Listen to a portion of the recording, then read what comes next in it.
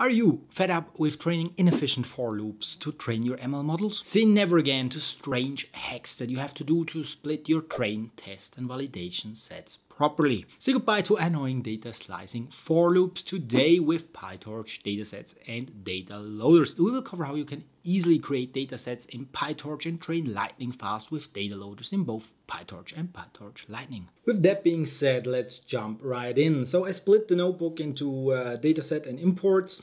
We are going to look at the, beginning. Then what is actually batching? What is it used for? Why would you want to know about it? How to do it properly with part PyTorch data loader and datasets. Then we'll go into an MVP example, so the bare minimum you want to get away with, but stay until the end because we will look into a proper example how to use this in a real life PyTorch Lightning example, full example. So don't worry, it won't be complicated. I'll make it really easy and you'll be up to speed in no more than 15 15 minutes, I hope.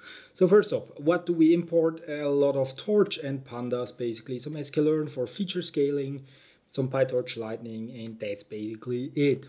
Cool. What are we going to um, predict today? We are going to do a multi-class example. So basically, we are going to predict, given some features, whether uh, a sample is what type of star it is. So we have red stars, brown dwarfs, white dwarfs, etc., etc. I put it into a CSV, so we basically just load it up.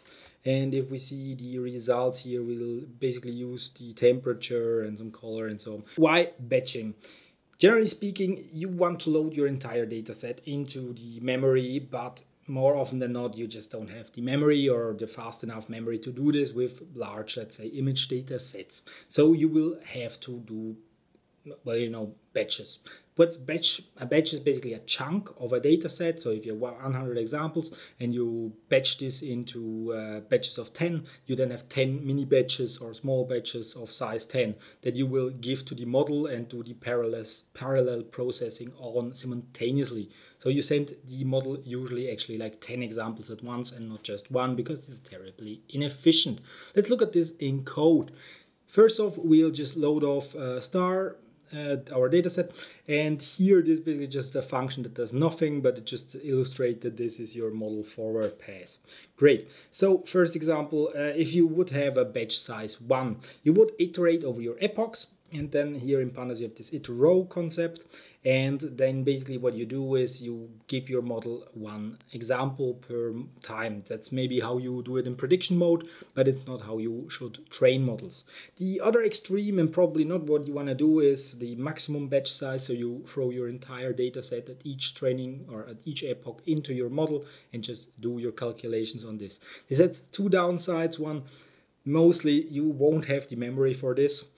The second one is actually the models need somewhat smaller batches to learn better. You know, like if the update step is only once, it often will lead to failures.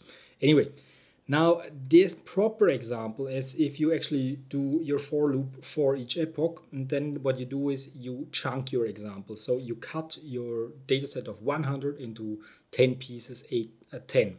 What we do here now, we have 240 examples, and we cut it into a chunk size of 8, so that will reduce into 30 batches of size 8. Let's look at what this looks. So the first example we had above, we basically have the size 7, so the shape of, of your sample is always 7 because you have 7 features. Now in the maximum batch example, because we have 240 um, examples in our dataset, we will have 240 times 7. And now in the proper batching example, I only put uh, printed the top view. You have 8 times 7. Um, of course, you have distance 30 times, so your shape will be 30 times 8 times 7. How to do it properly? So this is of course not how you do it, how I just showed it. What you wanna do is in practice is use the PyTorch data loader and dataset, and it's really extremely useful the custom dataset example. It's often not brought up and you can load datasets from the internet directly in this format, but we'll do a custom one because I really feel that this gives you the extra edge. Even more so when we get to the fancy example down below where we'll do it with PyTorch Lightning and then you have directly validation uh, test set and training set in one thing. Great. So what do you have to do? First off, you have to inherit from the dataset class. Dataset class is something that just lives in PyTorch utils, and then you give it a name. Cool. Now you need to define three functions. You have the init function, the len function, and the get item function. These are the minimal functions you will need to program every time. You can do more, you can not do less. Good. What you do in the init function is you load the data and convert it. Then what do we do here? We load our dataset from the CSV. We split the labels from the features. Then we drop actually the multi-categoric, uh, the categorical variables because we just don't want to handle them for this simple tutorial such that we are quick. Cool. Um, then we convert it to torch and we convert also the label to torch. Why do we convert it to torch? Because PyTorch only eats, well, their own shape. So they don't eat pandas and they don't eat NumPy. They want, uh, well, torch tensors. Basically, this is the syntax, how you do it. Don't think too much about it. Now, the other two functions, and this is kind of the hard. Um, it needs a len function. This simply returns the total amount of samples in your dataset. In our case, it will uh, simply return the length of the dataset right? So this is 240, even if it's a tensor still. Cool. Then get item. What does get item do? It gets you the item or the sample at the ith position of the data set and the label with it. Let's just shortly go over the slightly more complicated parts here. So basically, how will your data frame look at this place? It will basically just have four features in it. So it's a pandas or Excel sheet, let's think about it with 4 times 240, uh, well, 240 rows and 4 columns. Now, then we convert this to NumPy, and then we convert this to Tensor. That's all we do. For the labels, we do the exactly same thing, except that we have to reshape it to minus 1, because, um, well, basically it's a sing single sample, so you don't want it to have a, be in an array, if that makes sense. Cool. Now let's actually initialize our first custom star dataset.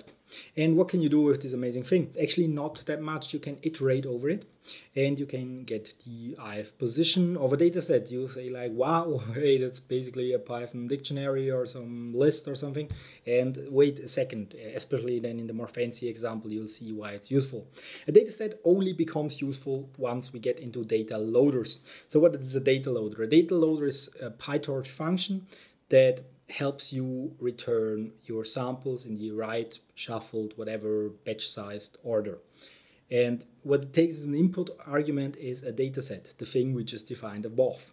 You have all of these fancy arguments. Basically, you don't need all of this.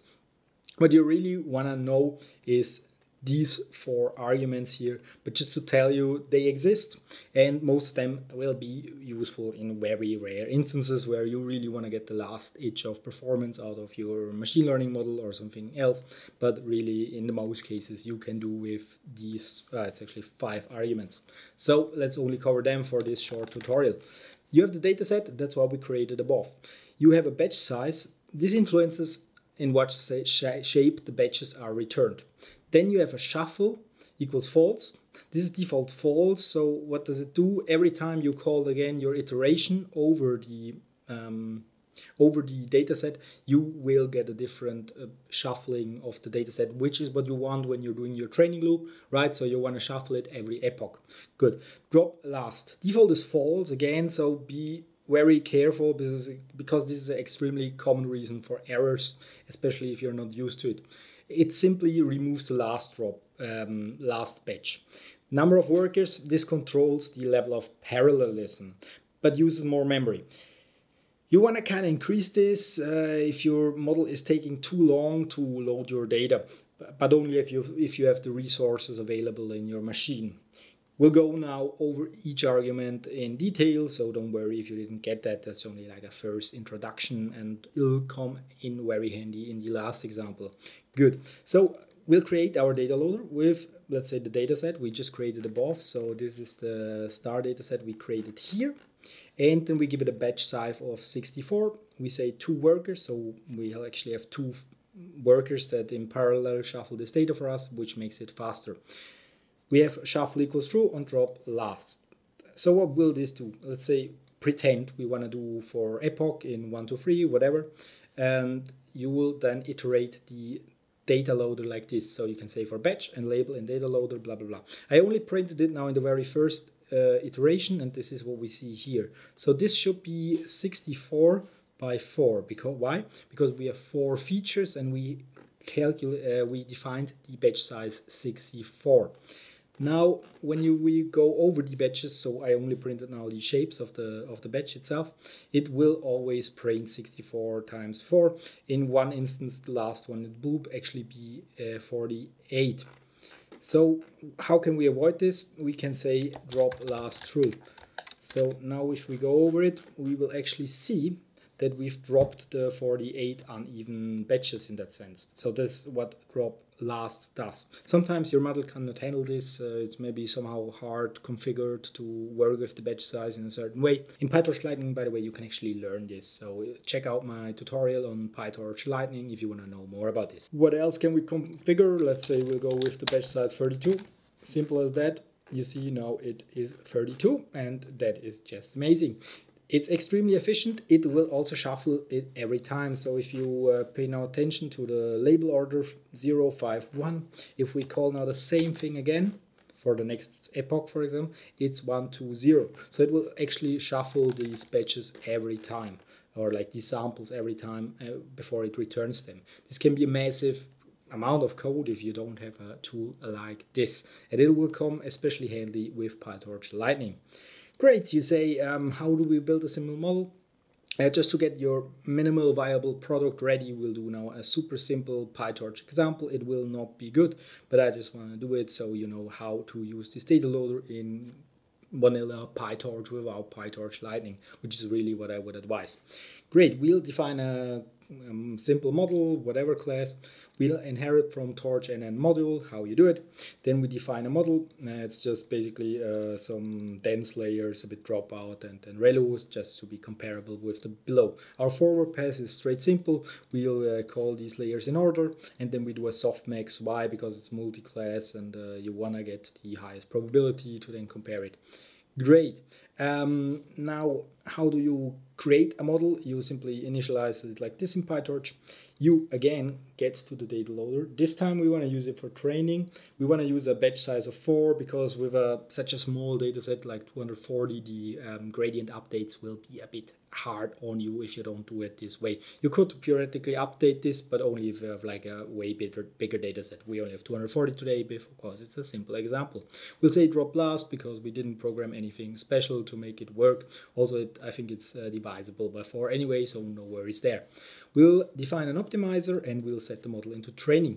Let's look at how you now iterate over model and do a training loop where the data loader actually comes handy in. With a for epoch in we want to do 20 epochs.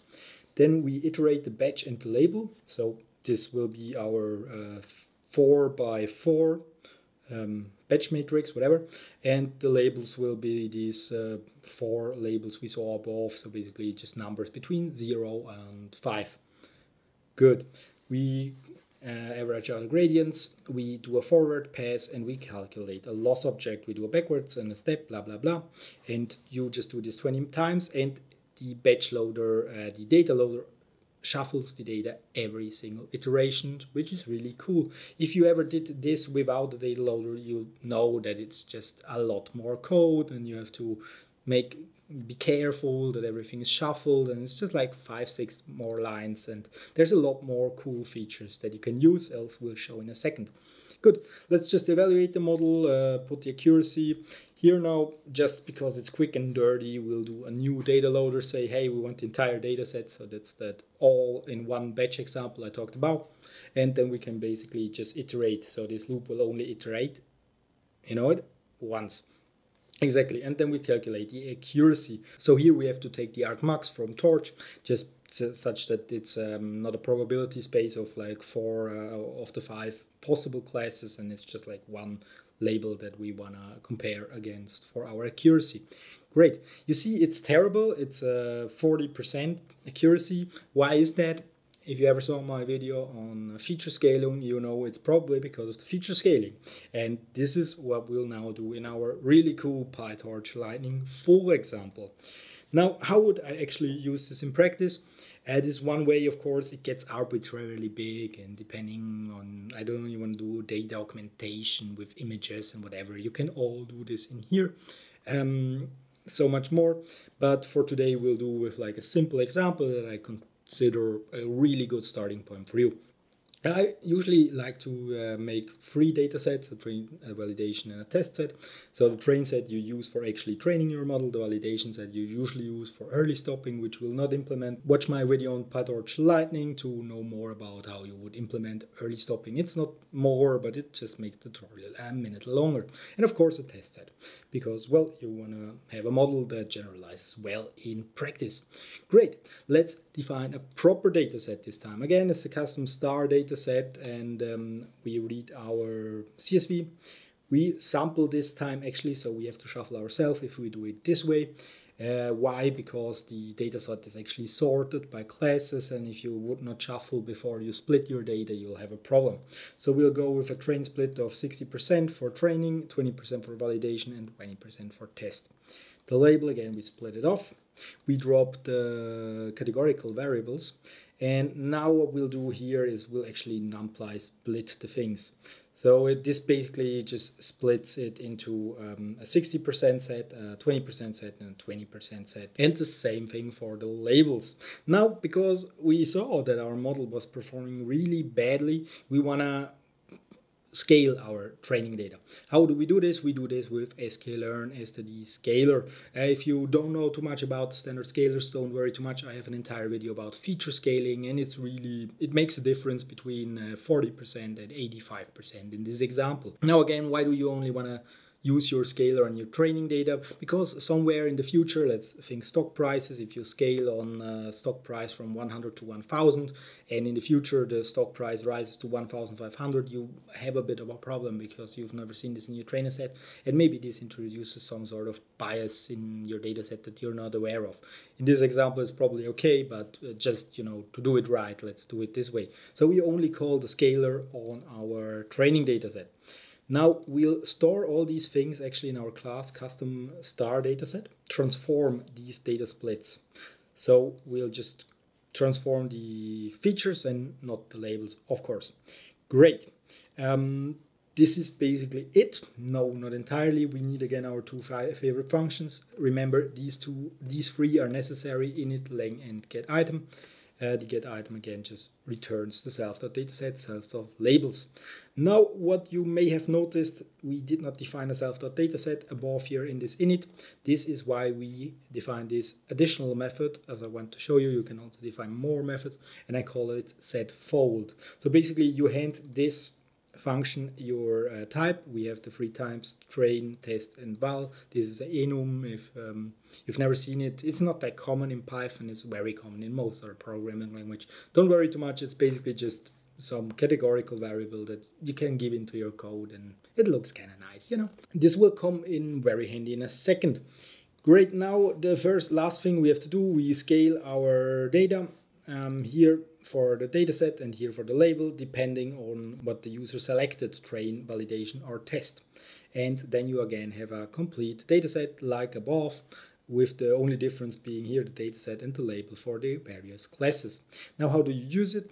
First you initialize it like this, and then what you actually have to do is you have to do a deep copy of this object and then set the fold to train, test, or validation. Um, I'll just shortly do this to show you that we have it and that you can use it just as before. Great, we've now three split, completely split um, sets and they have 60, 20 and 20 in their set. So for example here in the train set we have 144 which seems to be approximately 60% of 240. Great.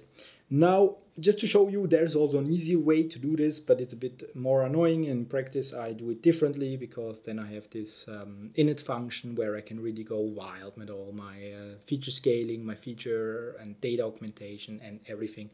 But you could also just split the data set. So the entire splitting logic that we have above, you can set into basically one example. So if this is enough for you, it sometimes works. I just wanted to show you both ways so you're ready for practice and are not confused. Great. So here we effectively split the 144 into 124, 10, and 10, which again adds up to 144 and uh, then we just iterated over the length to show you that we have now three completely functioning data sets that you could also use in the next step. Now let's build a real proper cool DEM model. This is a bit more fancy with Lightning module. I think with PyTorch you can do the exactly same thing, it's just more code, so we'll use the Lightning module. The same thing as above, we'll inherit this time from Lightning module because it's PyTorch Lightning. Again, if you're interested in more details on the Lightning module, I really recommend my video on PyTorch Lightning. Great. So uh, we set our data set here in the self function. So you pass it into your model creation. We say we have six classes and four features, basically same model as above. Um, there is four features coming in and six classes going in, plus some relu, dropout, blah, blah, blah. And we have accuracy. And this is really cool because we can now print the accuracy every validation with Lightning, uh, PyTorch Lightning from the validation set and not from the train set so that we know while it's training how it's performing. Are we overfitting? Are we underfitting? Whatever. Cool. Forward, the same stuff as above. You call the model, you do the log softmax just to get a bit better numbers. And the training step is basically the same, just that you um, have a loss. So the same thing we did above inside the loop, you have here as a function. If you're not familiar with PyTorch Lightning. Great. Now the validation set uh, step is basically the same as above with the small difference that now we do it on the validation set. I'll show you in a second. Uh, you do calculate the accuracy and you print the accuracy because it's really nice. For the test step, we simply copy the validation step, which is really handy. The only difference really is here this print string, but it's the same thing as in the forward with the small difference that we calculate the accuracy and print it directly to the shell. Now, why did we do all of this crazy work with data loaders? Uh, the optimizer not to be forgotten, but anyway, not so interesting. Here are our free data loaders, and it's extremely simple. So we pass in the free data sets, as we see down below. Then we call it with our batch size, so it's 4 in this case. You could go uh, arbitrarily high or low, depending on whatever GPUs you have access to, or CPUs or TPUs or whatever. And now you want to shuffle the train data you want to say false to the uh, test and validation data and that's basically it. So this is how easy it can be. And why do you do all of this? Now let's actually go and train this. Remember this before we were 40% and now we are at uh, around validation accuracy already of like 90% we see here the loss. It's really cool all of this is handled directly by the data loaders. And if you have configured with PyTorch Lightning here a test data loader, you can simply hey trainer.test and call this. And then we will in the final step here calculate the simple test accuracy and test loss for our test set. This is how simple it can be with PyTorch Lightning, data loaders, and data sets. I hope you learned so much today because I really love this function and I think it's not properly explained out there. Often they just load things from the internet and yeah. Please subscribe and like. This was my approach to what you should know about data loaders and data sets in PyTorch.